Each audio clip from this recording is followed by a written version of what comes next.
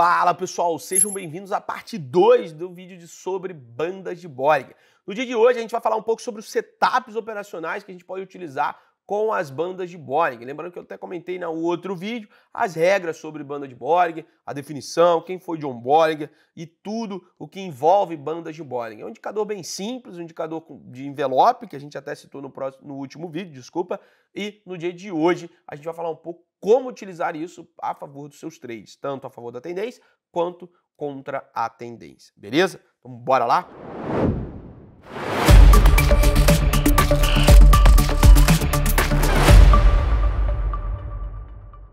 Bom, pessoal, colocando aqui na tela para vocês, e agora a gente vai começar a colocar os indicadores. Basta você ir aqui nos seus indicadores, bandas de Bollinger, indicador de volatilidade, você vai colocar em cima aqui, né, do preço, você coloca inserir e dá um OK. Já vem esse aqui é o default, tá? O default do caso do, do meu do meu layout aqui, mas a gente vai começar a acompanhar. Eu posso até usar esse, esse layout aqui, estava em amarelo, mas eu acho que vermelho ficou melhor aqui para a gente poder acompanhar.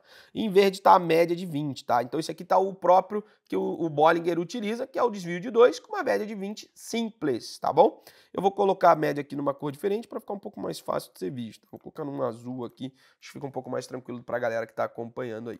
Tá bom? Esse aqui é um gráfico da Petrobras, você está vendo que, ó, tem a banda superior, que é naquela né, pegada que a gente comentou com vocês, onde aqui ela vai trabalhar. Opa! Deixa eu voltar aqui o ponto fixo para ficar melhor agora para vocês. Boa. Aqui. Oh, caramba, deixa eu colocar certo. Agora sim. Aqui você tem a banda superior e aqui você tem a banda inferior em relação à média, tá? Então você tem dois desvios para cima, você tem dois desvios para baixo e você está vendo que o preço oscila na maioria das vezes dentro desta dessa faixa. A gente vai tentar pegar os movimentos que ele sai da banda de Bollinger e o momento também que ele, quando ele fecha fora, fecha dentro, que é o movimento que você vai pegar, tentar contra a tendência.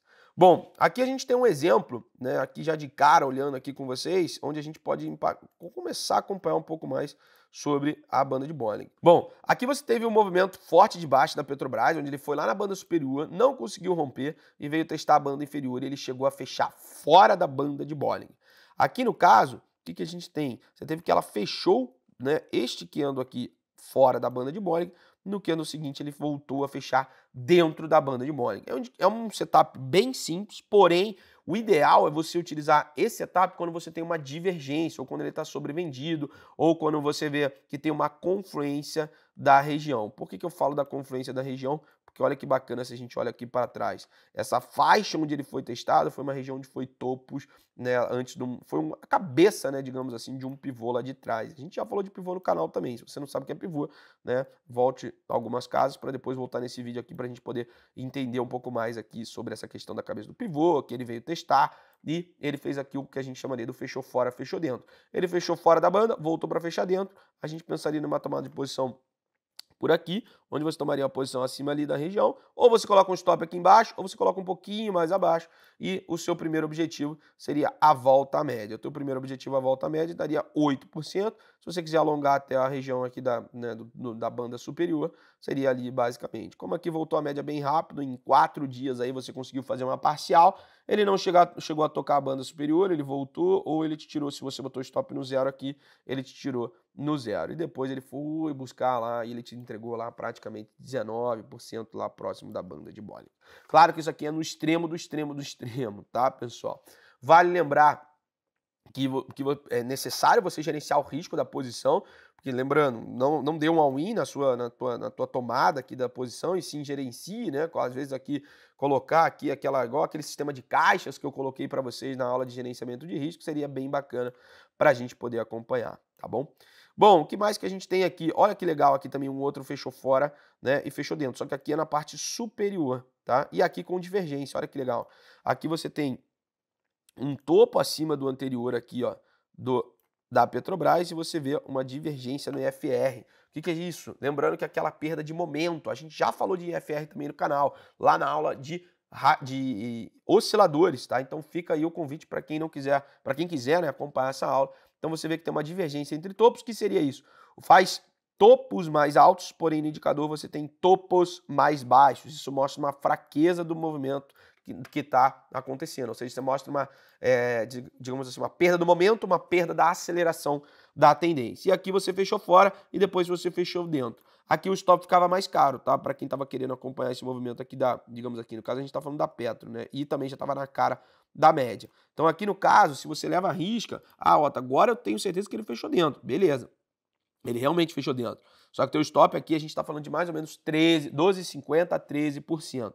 Ele chegou a trabalhar aqui já de cara na média depois ele veio para a banda inferior e até mesmo acentuou suas quedas, tá? Então quem vendeu aqui pode estar tá até dentro da posição até hoje, se a gente olhar aqui, olhar um pouco mais, é isso aí tá? Então, depois, se você colocou ah, um risco teu para si, um, um, um para um, né? Um e um, um, e um pouquinho, e aqui dois para um, então você teve também teu alvo aí atingido utilizando esta estratégia. Beleza, falamos um pouco aqui, aqui nessa mesma leitura que a gente está tendo, tem um walk on bands, que seria aquele seguidor da tendência. A Petrobras já vem com topos e fundos ascendentes, na região onde a gente estava até falando ali, onde fez o pivô, aqui ó, que foi a confluência que legal, né? A gente achou, acabou, só, confesso que nem tinha olhado.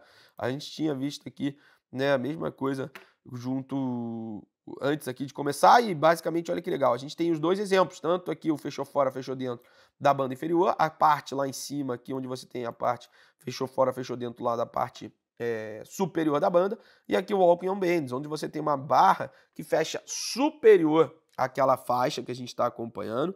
Você vê que teve aqui um, um volume acima da média no, na barra do fechamento.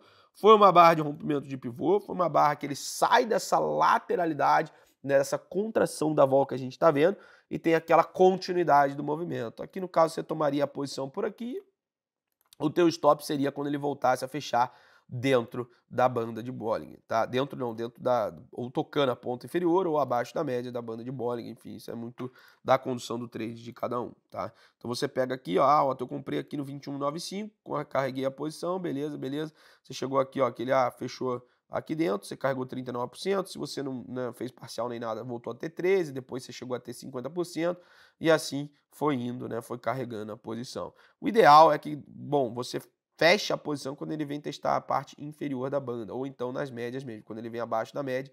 No caso aqui ele vem abaixo da média, fecharia a posição por aqui, te daria aí 28%, 31 dias dentro da operação, né, 31 anos que passaram, mas deu 28%. Um belo de um swing trade, tá? Ah, Otto, eu posso usar isso no day trade? Claro que você pode. Só que, lembrando, se você vai para um time frame menor, 5 minutos, 15 minutos, cara, você vai ter mais sinais falhos aqui acontecendo dentro do mercado, tá? Então, aqui no caso.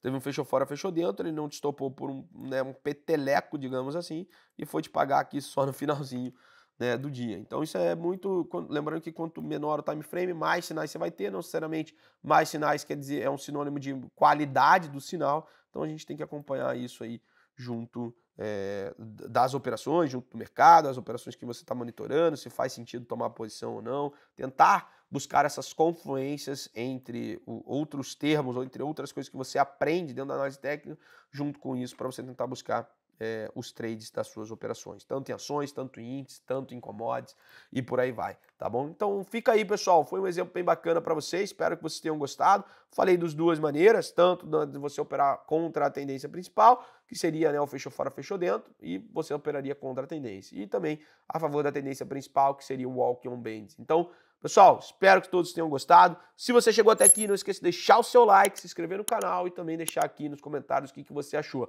Comenta aí pra mim também, você já tinha usado o Walking Bands ou fechou fora, fechou dentro? Acho que o fechou fora, fechou dentro sim, muita gente utiliza esse setup no mercado. Agora o Walking Bands nem todo mundo, tá? Então deixa aí nos comentários para a gente poder interagir e também trocar um pouco mais essa ideia sobre bandas de bowling e os setups utilizados lá, tá bom? Pessoal, um grande abraço e nos vemos no próximo vídeo. Tchau, tchau!